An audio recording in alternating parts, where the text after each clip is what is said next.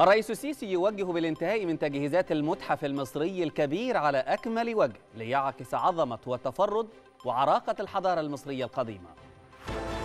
رئيس مجلس الوزراء يبحث مع رئيس مايكروسوفت العالمية التعاون المشترك. رئيسة البرلمان الأوروبي تلتقي بالرئيس الأوكراني وتتعهد بتقديم كل ما تحتاجه كييف لتحقيق النصر. التاسعة مساء في القاهرة السابعة بتوقيت جرينتش نشرة إخبارية مفصلة تأتيكم من التلفزيون المصري أهلا بكم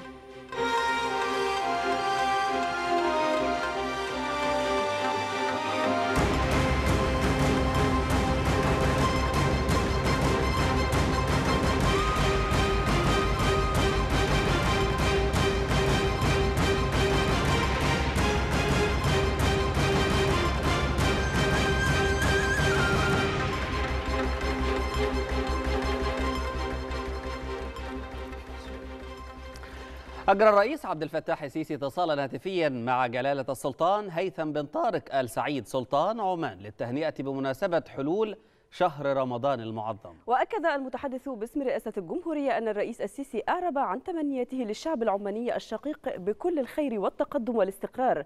من جانبه أعرب السلطان العماني عن خالص شكره وامتنانه لأخيه الرئيس السيسي متمنيا لمصر وشعبها دوام التقدم والازدهار.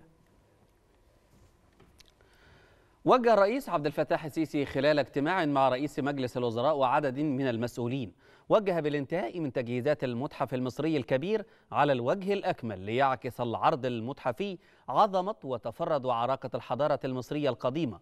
وخلال اجتماع آخر وجه الرئيس عبد الفتاح السيسي بمواصلة اتخاذ كافة الإجراءات الخاصة المساندة لقطاع السياحة في مواجهة التداعيات الناجمة عن الأحداث الراهنة على مستوى العالم بما فيها جائحة كورونا والأزمة الأوكرانية.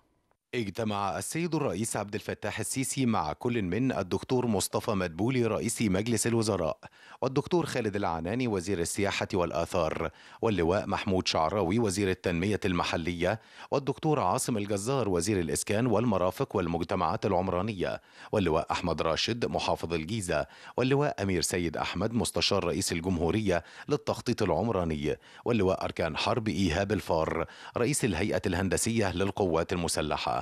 والدكتور مصطفى وزيري أمين عام المجلس الأعلى للآثار. والدكتور الطيب عباس مساعد وزير السياحة والآثار للشؤون الأثرية بالمتحف المصري الكبير. واللواء عاطف مفتاح مساعد رئيس الهيئة الهندسية للقوات المسلحة. المتحدث الرسمي باسم رئاسة الجمهورية. صرح بأن الاجتماع تناول متابعة الموقف التنفيذي لمشروع المتحف المصري الكبير ومعدلات الإنجاز وتطورات مراحل الأعمال الإنشائية بالمتحف. خاصة ما يتعلق بقاعات وصالات العرض وتجهيزات نقل وعرض القطع الأثرية في أماكن عرضها الدائم بالمتحف. وقد وجه السيد الرئيس بالانتهاء من تجهيزات المتحف المصري الكبير على أكمل وجه ليعكس العرض المتحفي عظمة وتفرد وعراقة الحضارة المصرية القديمة كما وجه سيادته برفع كفاءة كافة المنشآت والمباني في المحيط الجغرافي للمتحف. كما اجتمع السيد الرئيس عبد الفتاح السيسي مع الدكتور مصطفى مدبولي رئيس مجلس الوزراء. والدكتور خالد العناني وزير السياحة والآثار. الاجتماع تناول متابعة موقف حركة السياحة الوافدة إلى مصر ومقترحات تنشيطها. وقد وجه السيد الرئيس بمواصلة اتخاذ إجراءات مساندة قطاع السياحة في مواجهة التداعيات الناجمة عن الأحداث الراهنة على مستوى العالم بما فيها جائحة كورونا والأزمة الأوكرانية. مشددا سيادته على ضمان تمتع السائحين الموجودين على الأراضي المصرية من كل الجنسيات بكافة أشكال الرعاية وحسن الإقامة. وقد عرض الدكتور خالد العناني معدلات توافد السياحة في مصر خلال العام الماضي والتي شهدت استعادة القطاع السياحي لقدر كبير من عافيته خلال الربع الأخير من 2021 فضلا عن أبرز الأسواق المصدرة للسياحة إلى مصر وكذا أهم المبادرات التابعة لوزارة السياحة والآثار لتشجيع السياحة الداخلية والخارجية على مستوى الجمهورية. ثمن رئيس مجلس الوزراء مصطفى مدبولي العلاقات المتميزة مع شركة مايكروسوفت العالمية في مجال تطبيق التكنولوجيا في مختلف القطاعات لدعم النمو الاقتصادي وخطط التنمية في مصر. وخلال لقائه مع براد سميث رئيس الشركة أكد مدبولي أنه يتابع بشكل شخصي أعمال الشركة الخاصة بالعاصمة الإدارية الجديدة لا سيما فيما يتعلق بإنشاء مركز بيانات للشركة في مصر. من جانب آخر ثمن رئيس الوزراء رغبة شركة مايكروسوفت دعم رئاسة مصر المرتقبة للدورة السابعة والعشرين لمؤتمر الدول الأطراف في اتفاقية الأمم المتحدة بشأن تغير المناخ كوب 27 عاد إلى أرض الوطن. الفريق أسامة عسكر رئيس أركان حرب القوات المسلحة والوفد المرافق له وذلك بعد انتهاء زيارته الرسمية لجمهورية قبرص. كانت الزيارة قد استمرت لعدة أيام. وعقد خلالها الفريق أسامة عسكر عدة لقاءات مع المسؤولين هناك وعلى رأسهم الرئيس القبرصي ووزير الدفاع القبرصي. عاد إلى أرض الوطن. الفريق أسامة عسكر رئيس أركان حرب القوات المسلحة والوفد المرافق له وذلك بعد انتهاء زيارته الرسمية التي استمرت لعدة أيام بجمهورية قبرص حيث أجريت مراسم الاستقبال الرسمية. وعزفت الموسيقات العسكرية السلام الوطني لكل من مصر وقبرص. والتقى الفريق أسامة عسكر خلال الزيارة بالرئيس القبرصي نوكوس أنستاسيادس وذلك بحضور وزير الدفاع القبرصي وقائد الحرس الوطني القبرصي. حيث نقل له تحيات وتقدير السيد الرئيس عبد الفتاح السيسي رئيس الجمهورية القائد الأعلى للقوات المسلحة كما نقل تحيات وتقدير الفريق أول محمد زكي القائد العام للقوات المسلحة وزير الدفاع والإنتاج الحربي. فيما أشاد الرئيس القبرصي بالعلاقات المصرية القبرصية وتوافق الرؤى بين البلدين خاصة فيما يتعلق بتطوير التعاون العسكري المصري القبرصي. في ضوء عمق الروابط التي تجمع بين البلدين والتقى الفريق أسامة عسكر بالسيد خارلامبوس بتريدس وزير الدفاع القبرصي. حيث أكد على ضرورة استمرار التنسيق بين مصر وقبرص لتحقيق المزيد من التعاون في المجالات الدفاعية والأمنية والتدريبات المشتركة وتبادل الخبرات بين القوات المسلحة لكلا البلدين. ومن جانبه أشار وزير الدفاع القبرصي على أهمية التنسيق والعمل المشترك لمواجهة التحديات بما يحقق الاستقرار في المنطقة. كما التقى خلال الزيارة بقائد الحرس الوطني القبرصي وأعرب عن اعتزازه بالعلاقات الممتدة من الشراكة والتعاون لا سيما في المجال العسكري بين مصر وقبرص. كما شهدت الزيارة عقد جلسة مباحثات بين الوفدين المصري والقبرصي. تناولت عددا من الموضوعات ذات الاهتمام المشترك. أعقبها زيارة الفريق أسامة عسكر للنصب التذكاري حيث قام بوضع إكليل من الزهور على قبر الجندي المجهول. تلاها زيارة لقيادة القوات البحرية القبرصية. تضمنت جولة تفقدية لإحدى الوحدات البحرية القبرصية. كذلك زيارة مركز البحث والإنقاذ القبرصي بالإضافة إلى زيارة قيادة القوات الخاصة القبرصية التي تخللها عرض تقديمي عن القوات الخاصة القبرصية وتنفيذ بيان عملي بواسطة عناصر القوات الخاصة القبرصية أعقبه المرور على معرض الأسلحة.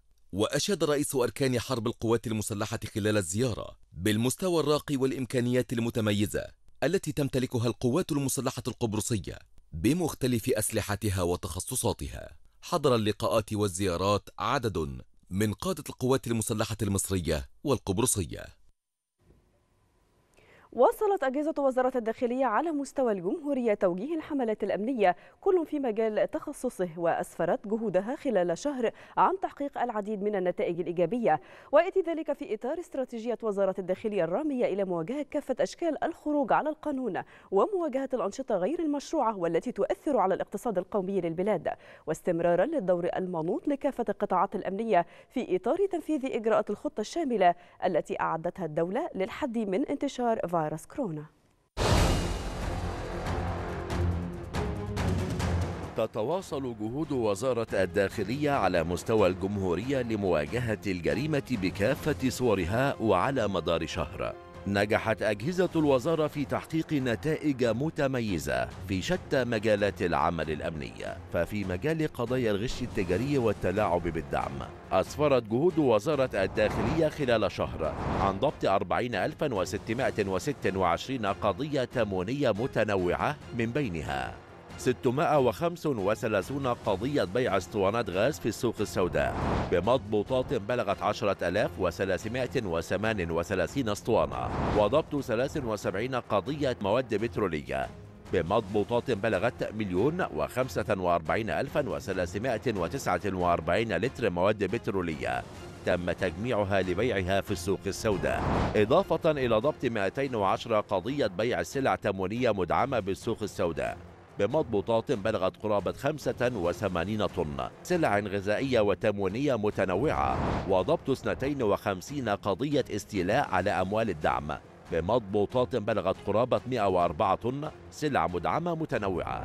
وفي مجال ضبط قضايا حجب السلع الاستراتيجية ومواد البناء. تم ضبط 265 قضية بمضبوطات بلغت أكثر من 4000 طن سلع غذائية متنوعة و92985 عبوة زيت طعام و338 طن أسمنت وقرابة 5500 طن حديد تسليح كما تم ضبط 1683 قضية في مجال البيع بأزيد من السعر بمضبوطات بلغت أكثر من 7000 طن سلع غذائية متنوعة و41119 عبوة زيت طعام وقرابة 451 طن أسمنت و491 طن حديد تسليح. وفي مجال تحقيق الانضباط المروري في الشارع المصري ضبطت أجهزة وزارة الداخلية خلال شهر 741292 مخالفة مرورية متنوعة.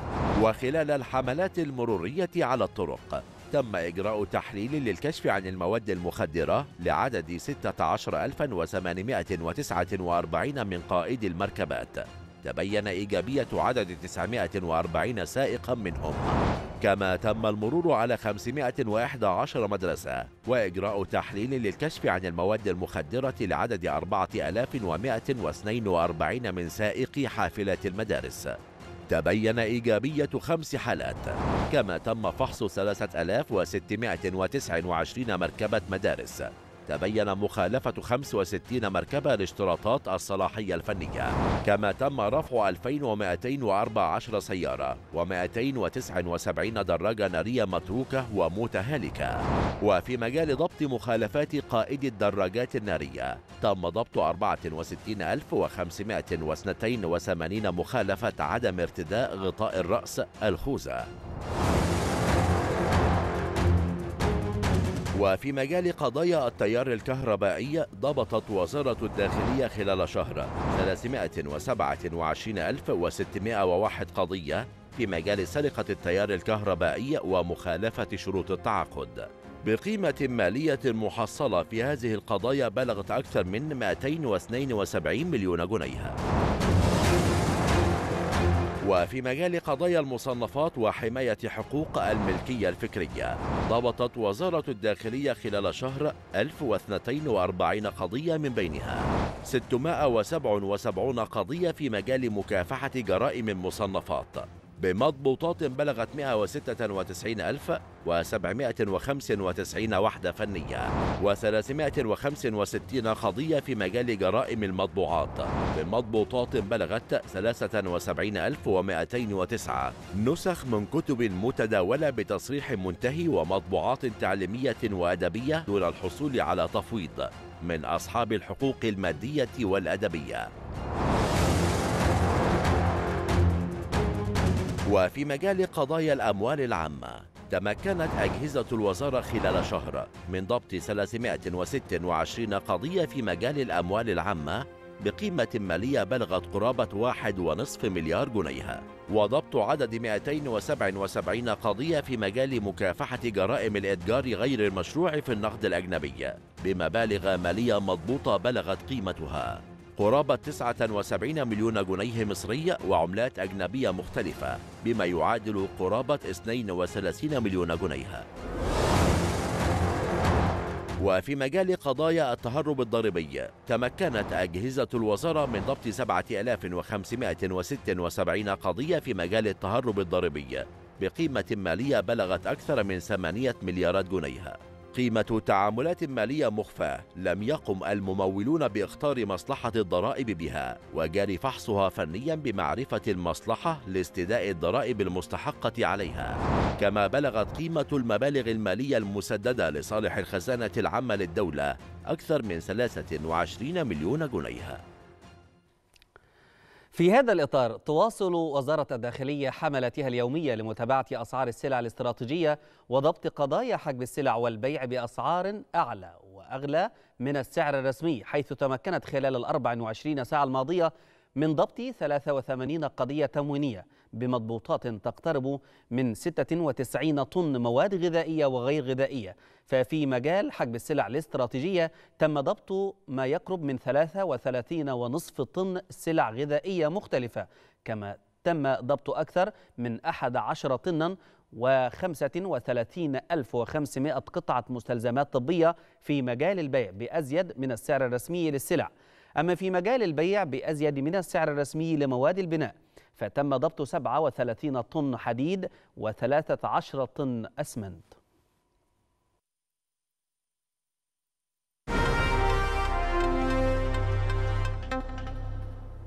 تتابع وزارة التنمية المحلية مع جميع المحافظات توفر السلع الأساسية والمواد الغذائية في الأسواق للمواطنين وجهود ضبط الأسعار خلال أيام شهر رمضان المعظم. هذا وقد وجهت الوزارة بمتابعة حركة الأسواق وتوافر السلع وتلبية احتياجات ومتطلبات المواطنين طوال أيام الشهر الكريم.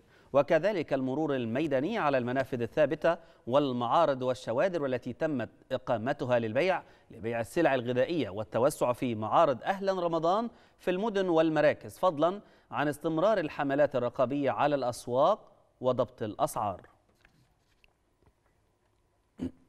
من جانبه أكد محافظ القاهرة خالد عبد العال توفر السلع الأساسية والمواد الغذائية في الأسواق للمواطنين وبأسعار مناسبة وتخفيضات تصل إلى 30% بالمنافذ والمعارض التي أقامتها المحافظة. أضاف محافظ القاهرة أن هناك أرصدة كافية بالمخزون الاستراتيجي للسلع والمنتجات الأساسية للمواطنين خلال شهر رمضان الكريم خاصة الدقيق والسكر والزيت والمكرونة والأرز والبوتاجاز. تفقد محافظ شمال سيناء محمد عبد الفضيل شوشة الأسواق ومعرض أهل رمضان بمدينة العريش وذلك للإطمئنان على توفر السلع الأساسية والغذائية ومستلزمات شهر رمضان المبارك بأسعار مناسبة. خلال الجولة التفقدية للمحافظ أكد على توفير كميات كافية من الدقيق والزيت والسكر علاوة على توفير حصص إضافية من السلع والمواد الغذائية والوقود وذلك لتلبية احتياجات المواطنين طوال شهر رمضان الكريم بمختلف الأسواق.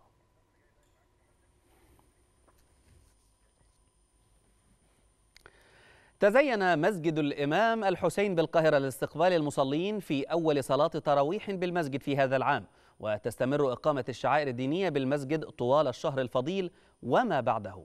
للمزيد من الحالة الآن في المسجد وما استقبله من مصلين احتفالا بقدوم شهر رمضان الكريم ينضم إلينا مباشرة من هناك مراسل التلفزيون المصري كريم بيبرس. كريم بعد التحية كل عام وأنت بخير. أرجو أن تصف لنا الأجواء في هذا المسجد العريق الذي بني في عام 549 من الهجرة والموافق 1154 من الميلاد والذي يعد أشهر مزار إسلامي في مصر يتقدم ويتوافد إليه المسلمين في شهر رمضان الكريم.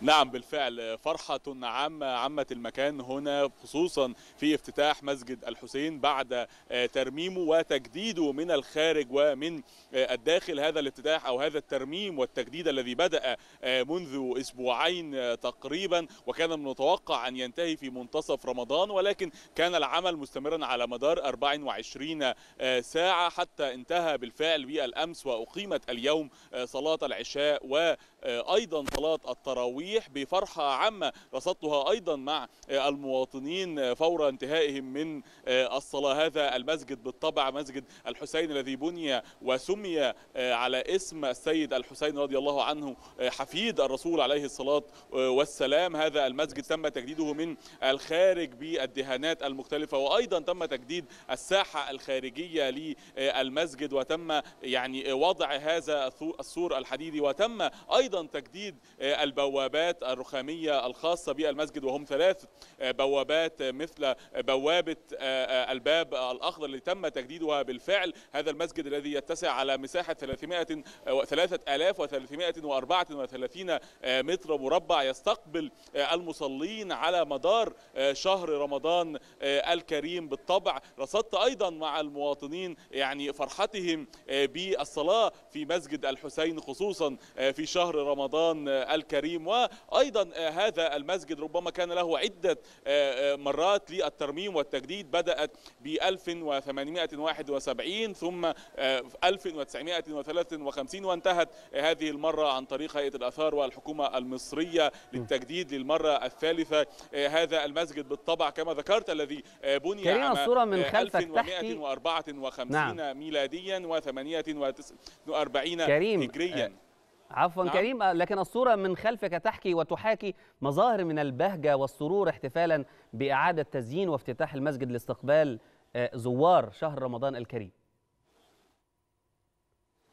على كل الأحوال شكرا جزيلا مراسل التلفزيون المصري من أمام مسجد الحسين بالقاهرة كريم بيبرس شكرا جزيلا لك.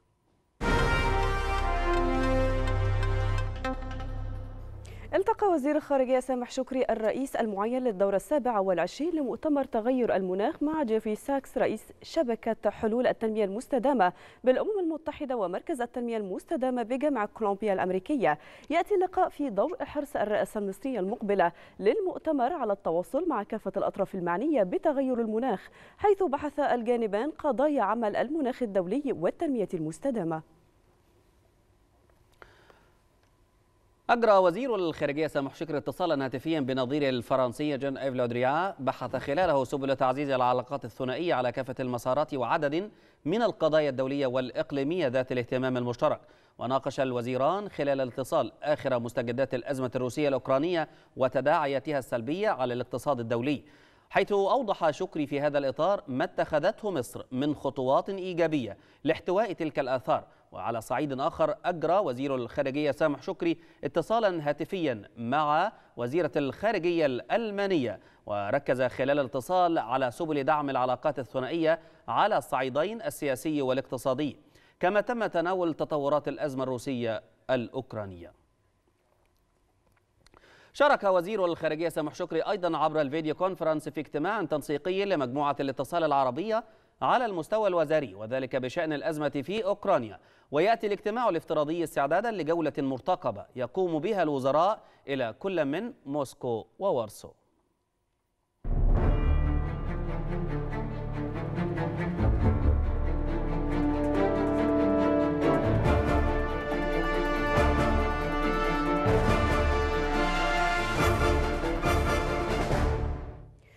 تعهدت رئيسة البرلمان الأوروبي روبرتا ميتسولا للرئيس الأوكراني بتقديم كل ما تحتاجه بلاده لتحقيق النصر. جاء ذلك خلال لقاء رئيسة البرلمان الأوروبي بالرئيس الأوكراني فولوديمير زيلينسكي أثناء زيارته القصيرة التي قامت بها للعاصمة كييف. كانت رئيسة البرلمان الأوروبي قد التقت باللاجئين الأوكرانيين في بلدة أوتوك القريبة من العاصمة وارسو معربة عن شكرها للدعم الذي يقدمه البولنديون للاجئين.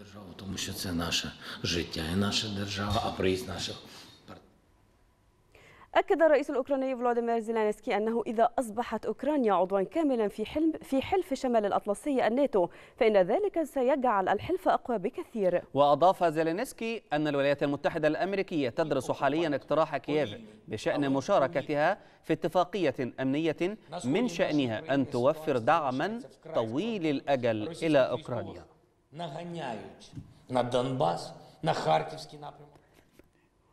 قالت نائبة وزير الدفاع الأوكراني إن القوات الأوكراني الأوكرانية استعادت السيطرة بالكامل على أراضي منطقة كييف.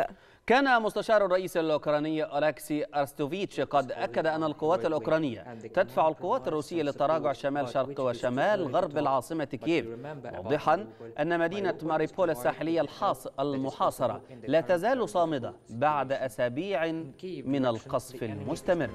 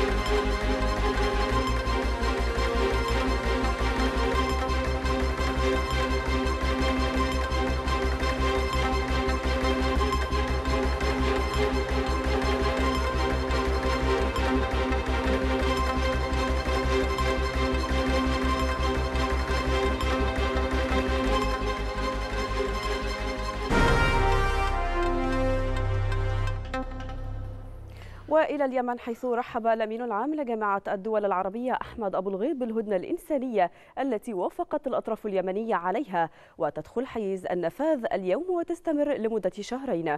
وأكد أبو الغيط أن الهدنة تستجيب لرغبة الغالبية العظمى من سكان اليمن الذين تفاقمت معاناتهم بسبب الحرب المستمرة منذ سبع سنوات. كما ناشد أبو الغيط الأطراف اليمنية باحترام الهدنة وضمان وقف إطلاق النار بشكل كامل في جميع أنحاء البلاد. هذا وقد رحب أيضا الأمين العام لمجلس التعاون الخليجي نايف الحجرف بالإعلان عن الهدنة ووقف أشكال العمليات العسكرية بالداخل اليمني وعلى الحدود. كما رحب الاتحاد الأوروبي بإعلان الهدنة الإنسانية التي دخلت حيز النفاذ اليوم وتستمر لمدة شهرين.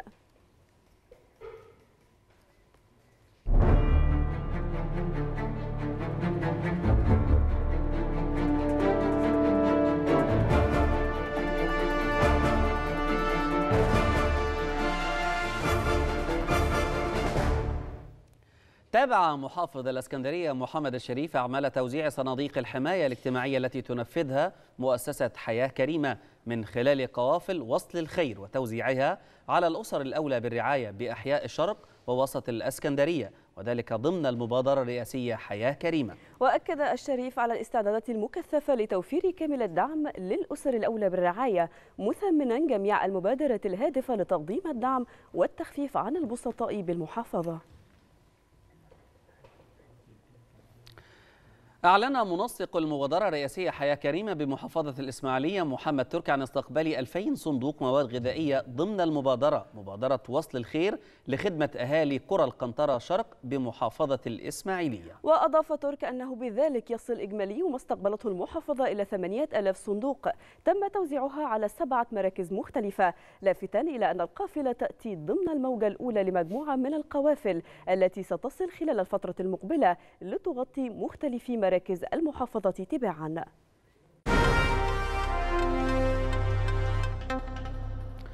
أكد رئيس هيئة قناة السويس الفريق أسامة ربيع أن إحصائيات الملاحة بالقناة خلال الربع الأول من العام الجاري. سجلت زيادة ملحوظة في إعداد وحمولات السفن العابرة للقناة ولم تتأثر حتى الآن بتداعيات الأزمة الأوكرانية الروسية. هذا وقد بلغ عدد السفن العابرة للقناة في الفترة من يناير وحتى مارس خلال العام الجاري نحو 5303 سفن بنسبة زيادة قدرها 15.8% عن نفس الفترة من العام الماضي. هذا وحققت قناة السويس خلال الربع الأول من عام 22 في الفترة من يناير وحتى مارس زيادة قدرت ب 20% من حصيلة إيراداتها بالدولار. وقد سجلت عائدات القناة مليارا و691 مليون دولار. أعلنت وزارة الصحة والسكان أن المتوسط اليومي لعدد الإصابة بفيروس كورونا خلال الأسبوع الماضي بلغ 559 حالة وذلك ضمن إجراءات الترصد والتقصي والفحوصات التي تجريها الوزارة فيما بلغ المتوسط اليومي للوفيات خلال نفس الفترة ثماني حالات يوميا. وأوضحت وزارة الصحة أن المتوسط اليومي لأعداد المتعافين من فيروس كورونا خلال الأسبوع الماضي بلغ 565 متعافيا وذلك بعد تلقيهم الرعاية الطبية اللازمة وتمام شفائهم. كما أشارت الوزارة إلى أن إجمالي عدد المتعافين من فيروس كورونا منذ بداية الجائحة وحتى الآن قد بلغ 458 متعافيا.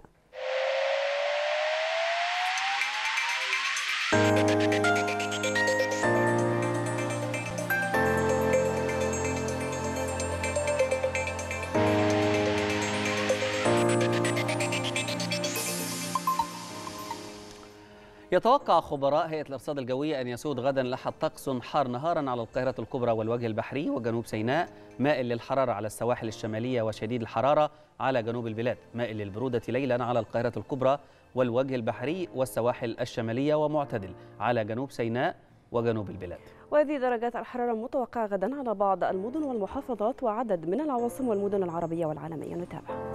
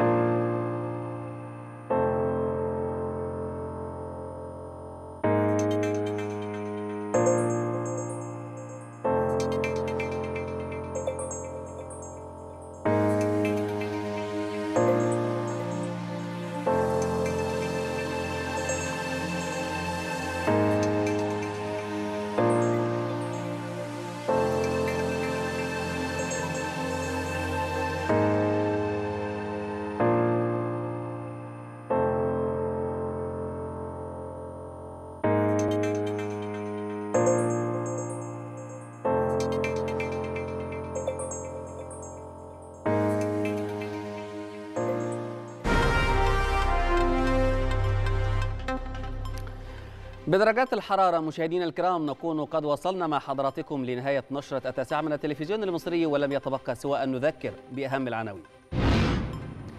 الرئيس السيسي يوجه بالانتهاء من تجهيزات المتحف المصري الكبير على أكمل وجه ليعكس عظمة وتفرد وعراقة الحضارة المصرية القديمة. رئيس مجلس الوزراء دكتور مصطفى مدبولي يبحث مع رئيس مايكروسوفت العالمية التعاون المشترك. رئيسة البرلمان الأوروبي تلتقي بالرئيس الأوكراني وتتعهد بتقديم كل ما تحتاجه كييف لتحقيق النصر. بهذا مشاهدينا الكرام نكون قد وصلنا مع نهاية أخبار التاسعة لكن هواء التاسعة ما زال مستمرا مع الزميل العزيز يوسف الحسيني. إزيك يا يوسف؟ كل سنة وأنت طيب. إزيك يا مصطفى؟ كل سنة وأنت طيب. إزيك يا آية؟ رمضان كريم. رمضان كريم علينا كلنا. جميع هو إحنا بس الثلاثة اللي جينا الشغل يعني زملائنا كلهم آه. المذيعين. آه. ب- يعني طبعا ده بخلاف زملائنا في صباح الخير. برضو آه، جم. بس دول بيجوا يروحوا ويناموا إحنا بنتمنى. لكل واحد معانا في التطوير. السلامة يا يوسف. ورمضان يعني وصوم مقبولا آه صوما مقبولا منا ومنكم جميعا بإذن الله. على كل حال لسه ما رمضان فطرناش كريم. هنفطر بعد الهوا. إن شاء الله هننتظرك بعد ما تخلص. بعد الهوا هيحصل إيه؟ هنفطر مع بعض. إحنا لسه نعيد الفطار مرة هو ثانية لسه ما فطرتوش؟ آه. ولا انت ناوي تصحى لا شربنا حاجة خفيفة كده. حاجة في البسيط آه. كده. بسم الله. قنوع هنتابع مع. الجمهور طبعا فقراتك قنوع، المتنوعة واللي حاصل في رمضان كله سواء في الدراما أو في سوق الدراما في كل المستويات المختلفة. خلينا نسيبك بقى لجمهورك حبيبي يا. مصطفى ربنا يخليك يا رب. شكرا شكراً. واستأذنكم. شكراً يوسف. نبدأ فقراتنا. كل طيب وأنتم طيبين.